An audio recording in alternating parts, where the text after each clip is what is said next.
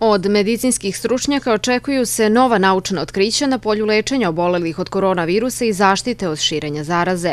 Poslednja saznanja u ovoj oblasti iz različitih grana medicine biće predstavljena na Međunarodnom kongresu kardionefrologije i hipertenzije u Pirotu. Na trodnevnom skupu učestvuju eminentni domaći i strani predavači. Prijavljeno je oko 200 učesnika. Kongres organizuju Udruženje za kardionefrologiju Srbije, Grad Pirot i podružnica Srpskog lekarskog društva u Pirotu uz podršku Lekarske komore Srbije. Od ovih 30 predavača, 30 predavača, polovina su eminentni stručnjaci iz inostranstva koji se bave ovim problemima. Ono što se ja iskreno nadam, da će učesnici ovo skupa proširiti svoje znanja, dobiti nova i ono što je posebno značajno, uspeti da to primene u svakodnevnoj kliničkoj praksi. To su možda čak i prva opipljiva, relevantna saznanja koje ćemo mi imati prilike da ovde u našem gradu čujemo i to će biti od izuzetne koristi e, ne samo našim lekarima ovde na našem terenu, nego, nego lekarima u čitavoj zemlji.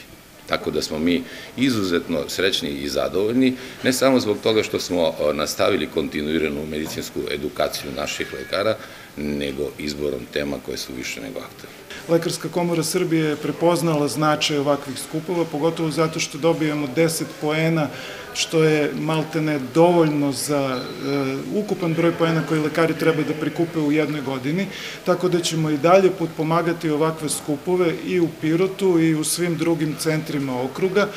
Međunarodni kongres kardionefrologije prvi put je organizovan u Pirotu 2017. godine. Ovakvi skupovi su korak bliže decentralizaciji organizovanja stručnih usavršavanja.